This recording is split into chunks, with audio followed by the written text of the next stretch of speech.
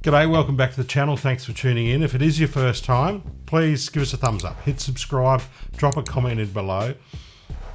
I'm revisiting the NUX MG 300 today because for a few videos now, I've been going through the NUX Trident uh, just to put it through its paces and see what NUX have delivered in the Trident. I've uh, I've enjoyed NUX's offerings over the years. I've got a couple of small pedals, uh, mini pedals, a looper, which is very good. Um, yes, it's their clone of a Boss um, RC looper, small one. Um, the NUX Monterey Vibe, I really like that because it's a, a very good emulation of a Uni Vibe. And the MG300, I thought for an entry level um, multi effects pedal for practice and home use um, had some great sounds in it. What did the Trident offer? The Trident offered um, a solid housing geared to, to live use, um, nice soft switches, easy to edit and, and store um, patches that you build for a gig live. Lots of ins and outs. Lots of ins and outs. Um, but not stereo. It's got dual outputs. It's got um, XLR and uh, jack outs as well as uh, an effects loop, but not stereo. It doesn't have stereo effects. Doesn't have true stereo uh, delays or modulations or reverbs for that matter. It's MIDI assignable. I haven't delved into it. Um, it's got mini uh, MIDI jacks on it.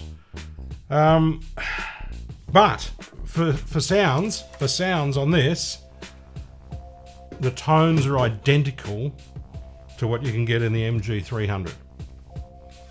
Same amp modules, same capability for IRs, uh, IR loading, and all of the drives, modulations, delays, and reverb patches are the same, exactly the same. Now, when you get the MG300, you think,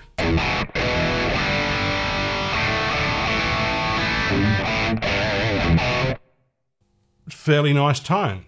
Fairly nice tone. Um, you've got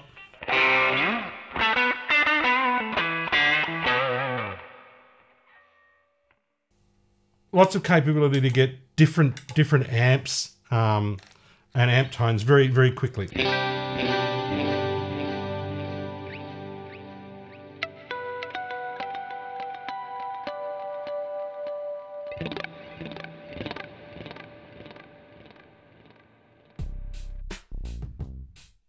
With the MG300, you also get an expression pedal. You also get a drum machine.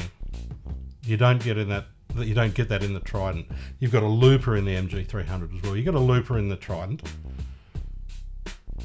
You've got a, a clear screen on the MG300, and you don't have that on the Trident. Would I use this live? Maybe. Um, if I had to take a, a very compact board out somewhere, I might incorporate it because it gives me an expression pedal, um, gives me the option to store maybe three patches in there, um, add, add, a drive pedal in the front of it, one of my favorites perhaps, and pull a decent sound live.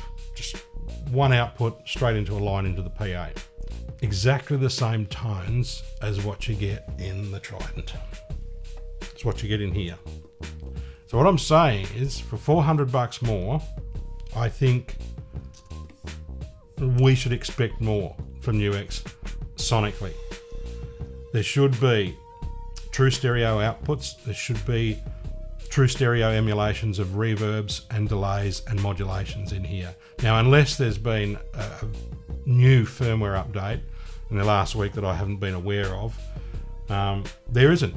You've got exactly the same tones as what you have in the MG300. And I think NUX could do better if they're wanting to play um, at the top end of the, uh, I suppose, the gear ladder. Once you start get, once you start paying over seven, eight hundred bucks, uh, you start getting close to a thousand dollars for a piece of gear. You want it to be pro gear. Um, that's not only robust enough, which the Trident is. It's it's robust, um, but it should deliver sonically as well. Now, I would come back to the MG300 and say at its price point, um, it offers some great tone, really good tone for the price point. When you get up to the Trident, it's just just doesn't really cut it. Um, anyway, let us know what you think. Uh, I still I still like their gear. There's no doubt about that. But um, they need to load something more into the Trident. Um, I still like this overdrive patch though.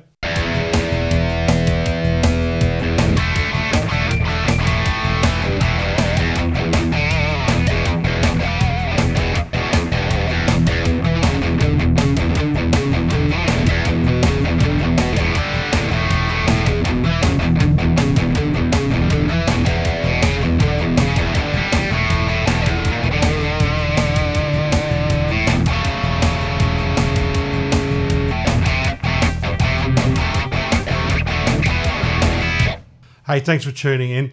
Um, drop a comment in, as I said, below, and I'll see you next time. Cheers.